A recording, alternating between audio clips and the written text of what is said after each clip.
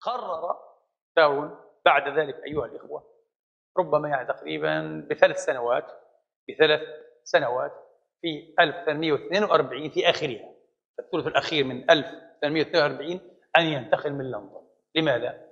داروين بطبيعته لا يحب النزاعات لا يحب المجادلات الكثيرة حتى العلمية.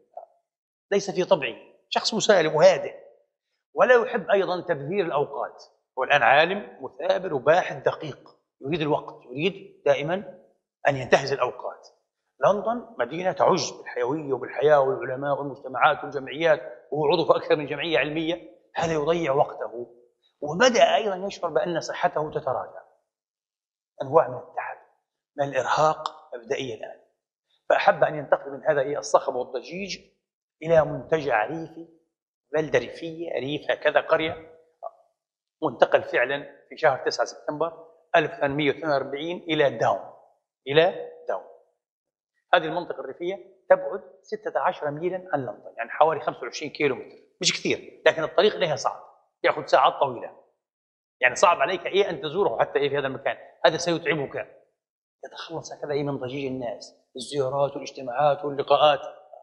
فذهب إلى داون إذن في سبتمبر 42 وبقي فيها حتى وافته منيته. 1882 يعني كم؟ 40 سنة. بالتمام تقريبا. هو مات في أبريل يعني. تقريبا 40 سنة تامة. لم يتحول إيه؟ عن داون هاوس عن بيته في داون. بقي هناك إلى آخر حياته. جميل. طيب. حتى يقال إيه؟ أن أخاه حين زاره لأول مرة في داون هاوس سأله ممن تهرب؟ قال من كل أحد ومنك أنت خصوصا. يمزحه. أخوه عارف أنه إيه؟ يريد الخلوة يعني يهرب من الناس. قال ممن تهرب؟ قال من كل أحد ومنك أنت خصوصا. مع أنه كان يحب أخاه جدا. في على مدى أربعين سنة تقريبا زيارته النمطية وكانت لا تمتد لأكثر من أسبوع كانت لأخيه إرازموس ولابنته المزوجة في لندن. كانت لندن تقعد أسبوع ويروح مش أكثر من إيه من أسبوع. يقول فرانسيس ابنه يقول فرانسيس وكانت التي تغريه بهذا في شكل صفقات طبعا. وتقول له إيه يعني بعض المزايا وبعض المسوغات قال أمي إما زوجته يجب ان تذهب إلى ابنتك المسكينة كذا إلى أخيك اشتاق إليك. بصعوبه لا يحب أن يتنقل يحب أن يبقى في بيته. وخاصة كما قلت لكم الآن بدأت تعتل الصحة. في داون هاوس أربعين سنة يقول ابنه لا نعلم أنه مر على أبينا يوم واحد تمتع فيه بصحة إنسان عادي. دائما طبعا عاش ومات في هذه الآلام والتباريح وإلى اليوم لم تعرف طبيعة المرض الذي أجهد وأتعب تشارلز داروين ومات به معروف بالضبط شو. في ناس بيقولوا إيه مرض منشأه نفسي. في ناس قالوا لا مرض في المعدة. مش مفهوم بالضبط إيش هذا المرض. كان يتعبه جدا ويؤلمه. صداع شعور بالقيء والغثيان آلام في المعدة تعب إرهاق متواصل. لا يستطيع أن ينام في الليل كالناس. ينام ساعات بسيطة ثم يهب.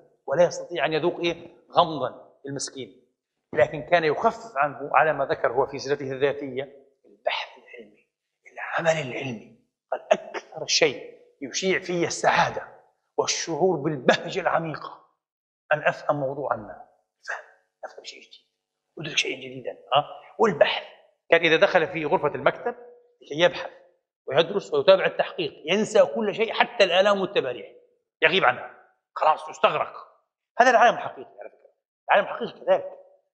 ولذلك حين أراد أن يعلل لنا نجاحه العلمي ذكر تقريبا أربعة أو خمسة أشياء سنذكرها في وقتها لكن في رأسها حبي للعلم يقول سبب نجاحي حبي. يعشق يعشق العلم هو. مش عشان الشهرة كان يكره الشهرة يتقزز منها. يقول عندي شعور بالتقزز من حرص العلماء والناس على الشهرة الممثلة في إيه؟ في الأسبقية. إنني أنا أول من فعل هذا. أنا أول ما اكتشف. هذا غير مهم. أول ولا عاشر المهم أن تفهم. المهم أن تعرف. شوف عالم حقيقي. عالم محب للعلم يتعبد فعلا في محراب العلم. لذلك أبدع وابتكر هذا الرجل الكبير.